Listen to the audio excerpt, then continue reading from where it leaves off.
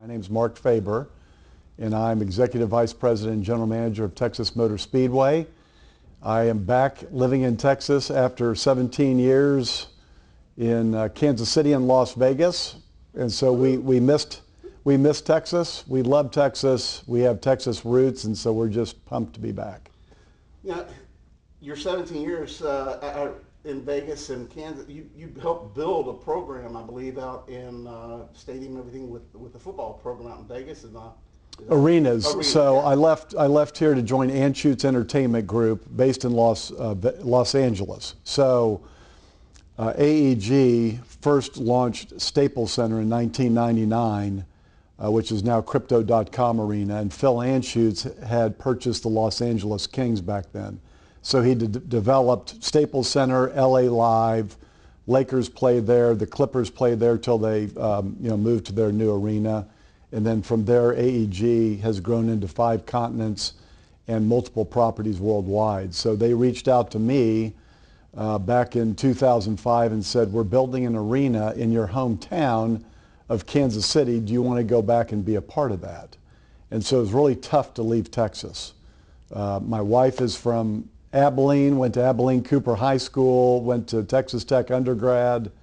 She went to Baylor Nursing School. Our two children were born at Baylor Medical. My mom went to SMU, uh, but was raised in Kansas City, and so that was kind of an incentive to go back home um, to Kansas City to be a part of that project. So we developed Sprint Center, downtown Kansas City, as a part of the downtown revitalization, and I was the first, as we say, boots on the ground for AEG to be a part of that development and design process and community. And then fast forward, and AEG says we're doing it again in Las Vegas. We're doing a joint venture with MGM Resorts, and we're going to build a world, world-class arena. Do you want to do the same thing? So we said yes. We headed west, and we built T-Mobile Arena, uh, which is arguably one of the top three to five arenas in the world. I think it's the best, but uh, has all great events out there. And you're right, I come from a different background of 130 to 150 events a year and UFC and boxing and concerts and Pac-12 men's championship basketball and sporting events. Um, so my background is not motorsports, but it's sports and entertainment, and motorsports is sports and entertainment. How do you bring that here to a fan base that is very much different? Now we all like some of those other issues, but it's it's a different world. How do you how do you resonate with the fan base that you have uh, in, in the NASCAR racing world? And IndyCar, because you've got some of that here too. I do have some, yeah, we have IndyCar. I, I was with an IndyCar team briefly, so um, we raced here 1997, and that was the A.J. Foyt, Arie Luyendyk dust up at, at uh, Victory Lane. And uh, I was at the first NASCAR race here back when it opened, and I also went to the Rolling Stones concert that was here. So sports and entertainment has evolved significantly since this iconic facility opened. At the end of the day, what the most important thing is for, for me, for us, for Marcus Smith, Smith Family Speedway Motorsports is the guest fan experience on the weekends that we have here. Whatever the events are, but obviously we're talking about racing. At the end of the day, what can we do to enhance the guest experience? The racing is paramount, and we get that. But what can fans experience when they come onto our campus and our footprint here that are supplementary, complementary to the event experience? We want to make it an event uh, beyond the racing. And the racing, again, is core. So we're going to have Daughtry do a pre-race concert. All-Star Weekend, we had Blake Shelton, right? We're going to have Fan Activation Zone open for the weekend. So we're going to have rattlesnake shows. We're going to have cirque performers. We're going to have wood carving. We're going to have trackside live stage interview, Q&A with drivers. We're going to have a lot of fun things out here for people to do. So when you come out here, you're going to say, wow, that was a great day for my entire family. And obviously you've got the Christopher Bell thing going on with, but that has brought a, a, a, bunch of local people, grassroots. And I was speaking with, with Kurt Busch this morning because his brother and his nephew are racing in that event, and he's like, "Glad to see you're involved in, you know, the younger the younger drivers and things like that." get reaching out and doing stuff like that to amateur racers and younger drivers, does that also help you reach out to new fans and to, to want, make them want to come or come back to Texas Motor Speedway? Great question, and that's one of the reasons why we did that and why Marcus Smith wanted to do that with the sprint cars. And they were on the track last night, and it was fantastic to, to see that, right? So you're exactly right. How can we reach out to maybe a same demographic but a different demo? You're exactly right, the younger crowd. So we want to grow our fan base collectively, not only here, but obviously NASCAR and motorsports. And so just like other leagues and other teams and other sports are trying to reach a new demographic, that's what we're trying to do here. That's just another part of it. You're the third guy to hold this role in 15 months. Eddie had the huge tenure.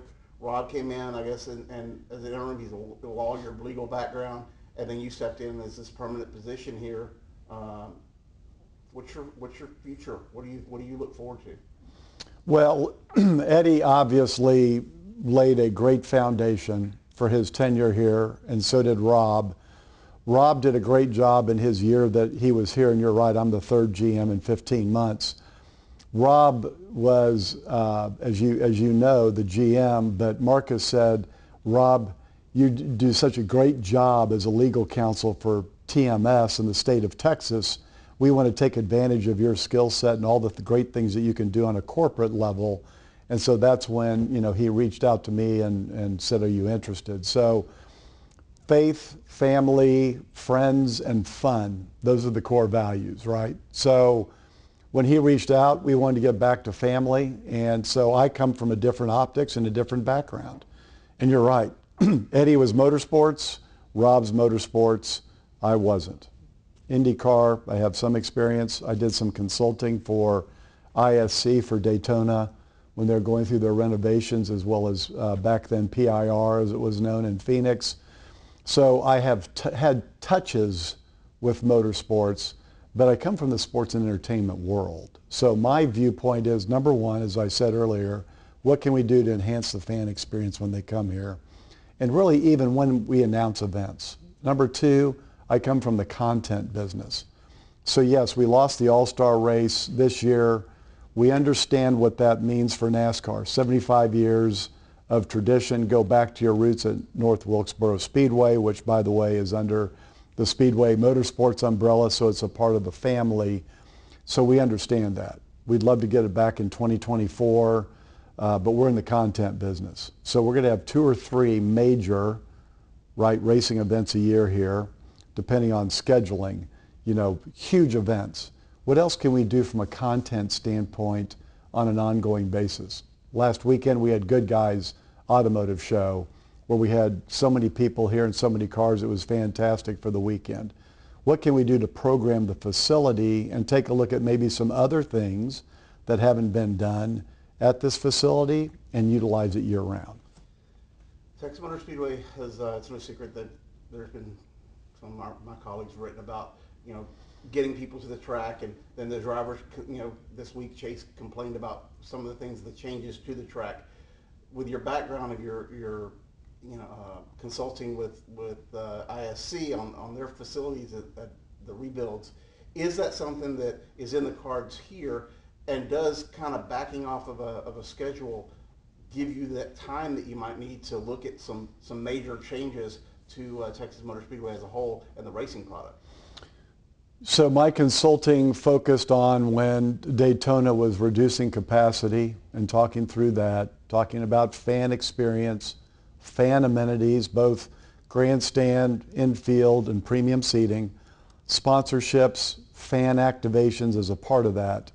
So the structure of this facility, and fans will see this this weekend, as a part of what are we trying to do for the fans, and you talk about reconfiguration. So we have uh, enhanced seating in the grandstands that'll be launched. So you can have your own little area with additional leg room. You can have a food and, and beverage drink rail. You can bring your cooler in. You have space to set your cooler. This is going to be a great uh, setup for fans. The second thing uh, that Marcus did was launch the world's largest belly up bar. And I don't know if you saw that in, in March, but it launched in March. So you go out the grandstands and you can go from turn four all the way to turn one. You can literally belly up to the bar, have a drink, and you can watch the action on the track and experience it in the grandstands. And then the third pillar is the new concourse bars that we're developing right now, literally putting the finishing touches on for this weekend. So over 7,000 square feet of bars, and there's three of them on the main concourse. And what's beautiful is that you can now belly up to those bars, and we've opened up in the grandstand seating, I mean, uh, uh, visual capacity, so that when you're belly up to the bar, you can watch the action on the track. So typically before, if you're walking on the concourse and you're buying food and beverage or merch or just enjoying your day, you can't see the action on the track. Now, you can belly up to the bar and you can watch the action on the track. So this is going to be a pretty cool experience for fans, and that's what we're trying to do. I know the drivers' issues are not necessarily the grandstands. It's about what's the racing going to be like on Saturday and Sunday. Marcus has already been analyzing that well before I have and the leadership team at Speedway Motorsports as well as our leadership team here. So what we want to see is 40 next-gen vehicles racing on Sunday for the first time going 500 miles because we haven't had that. We had the All-Star race, which is a much different format, as you know. So we want to see how the racing is on Sunday and then take that into account as a part of what might or might not be done going forward. Now, um, there's one other issue with scheduling at NASCAR. We've talked about moving the championship race around. A lot of people say that Texas Motor Speedway may never get a championship race. However, the state of Texas would welcome it with lots of revenue and hotel occupancy money and things of that nature. Is that something that SMI and, and Texas Motor Speedway is looking for at some point to get into that rotation uh, for a possible uh, championship race here at the you know third or fourth largest you know metropolitan area in the country? I haven't been a part of any of those discussions with uh, SMI or NASCAR. Again, I've been on the job for a month. So our focus is the race races this weekend and what we can do for the drivers, for the owners, for the fans, and all the stakeholders involved. So, but as I said, we're in the content business. So yes, if we have an opportunity to host something like that, we sure do. That'll be a very competitive process, as I, as, as we know. That'll be a competitive process. Yes, this is a huge market, and the state of Texas is especially important, I know, to NASCAR, and I know it is to Speedway Motorsports and us as well as the surrounding region because we do have a lot of fans. We have fans coming down. Uh, I was in a meeting yesterday. We have fans coming down from Chicago that have bought tickets and from Kansas and everywhere. So it's not necessarily just the Metroplex, and that's our core area in the state of Texas, but we have fans coming here from everywhere. So we'll take as much as we can get, but you know, right now I haven't been involved in any of those discussions. And I'll wrap up real quick. I appreciate your time. Uh, I know you're busy visions, surprises coming? You know, tell the fans uh, what, what they can expect. I think that they'll see the fan enhancements that we've done, number one. I think they'll see the entertainment that we've added and a lot of uh, the new things that you'll see on the enter- entertainment. We have all of that coming. Plus we have Fort Hood. So we have men and women from Fort Hood coming that'll be out there and we'll be showing tank and other things that they do and the fine, you know, young men and women that serve our country and protect us. So that's going to be another great thing for the fans. I think they'll walk around the concourses and they'll see the new amenities that we've done. We also are opening a grab and go location right across from that main bar that I mentioned earlier. You literally can go in and you grab a Coke, you grab a Bud Light, you grab a water, you grab some food, you, you're in and out. Talk about speed of service. You don't miss any action or very few minutes of action or seconds of action when you do that. We'll have new merchandise there on the concourse as well. So we're again talking about the amenities um, for people coming here.